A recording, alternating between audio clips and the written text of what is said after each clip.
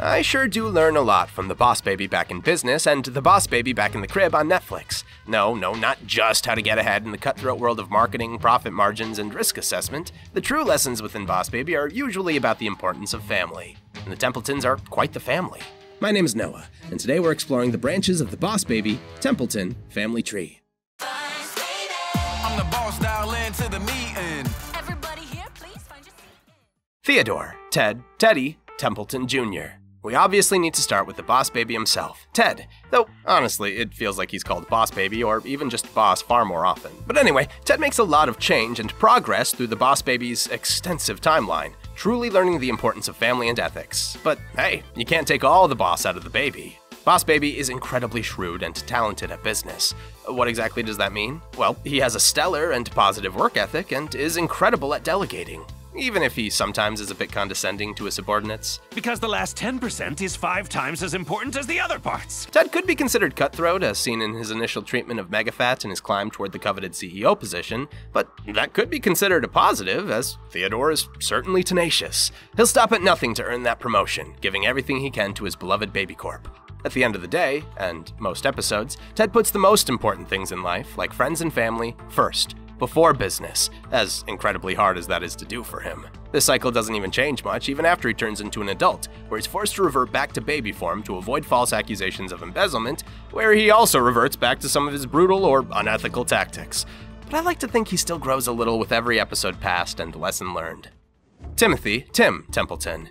And many of Ted's lessons come from his older brother Tim. Tim, in Back in Business, is, well, a kid, with all the good and bad that that encompasses. The bad is really not so bad, just normal kid stuff. Despises vegetables, does anything he can to get out of chores, nothing too major. The good being an incredible imagination that helps him get out of nearly any tricky situation. And thankfully, he keeps that imagination into adulthood, turning him both into a somewhat successful professional writer and somewhat fun dad. Most importantly, Tim is an amazing brother who often uses that zany imagination to help out Ted and Baby Corp. In fact, Tim has some pretty unprecedented access to Baby Corp, often using a Choopy to transport to the ethereal business building. Tim is such a good brother, he often sacrifices his own happiness, leisure time, and traditions like family mini golf around the house, all to help out his baby brother, while keeping the corporation secret. I told them I hated mini golf. I love mini golf! But seeing and helping Baby Corp at the ripe old age of seven allows him to remember Baby Corp's existence into adulthood, without even scrambling his brain. Tina Templeton. Daughter of Tim and niece of Ted, Tina Templeton is the new boss baby. A new boss baby for a new generation, as Ted's traditional management style probably wouldn't mesh with the modern day workforce. Where Ted runs a tight, demanding ship, Tina chooses to lead by understanding the needs of her subordinates and providing the resources they need to complete their tasks, especially with positive and encouraging feedback. Tina is a phenomenal boss, lacking most of the selfish shortcomings of her uncle. In fact, she absolutely teaches her uncle a thing or two, such as the importance of a day off and the values of working smarter, not harder. That being said, she is a bit of a workaholic like her uncle, similarly obsessed with pleasing her beloved Baby Corp. So much so that she blindly buys into the 5 percenter system, more than ready to completely neglect most babies in favor of focusing on 5 percenter babies to raise more overall baby love. Tina absolutely loves being a Templeton, even eager for an extended discipline conversation featuring puppet presentations and the like. Yay! Tabitha Templeton. Tim's eldest daughter and Tina's older sister, you might expect Tabitha to act a lot like her dad did when he was in grade school. Sorry, little Tim. Looks like your daughter is quite a bit more capable. Though Tina is a great new boss baby, I think Tabitha would have fit that suit just as well when she was a baby. Tabitha is eager to learn and help her little sister and little uncle wherever she can. She's often eager to learn about business, and though she's initially a bit bored by Baby Corp, she absolutely kicks Ted's butt in a friendly trade war. More important than business acumen, Tabitha uses her few years on Tina to school her occasionally in common sense and morality. Though she aligns herself with the seemingly nefarious Uncuddleable Babysitter Club, she ultimately does it in the interest of babies worldwide, and not just the five percenters. Carol Templeton. Carol is Tim's wife and mother of Tina and Tabitha. She's not your average human, best demonstrated by when her brain wasn't permanently scrambled when she realized her infant daughter could articulately talk, and manage a team of field agents and build a 401k. Yeah, I get it, it's a lot. Oh, yeah.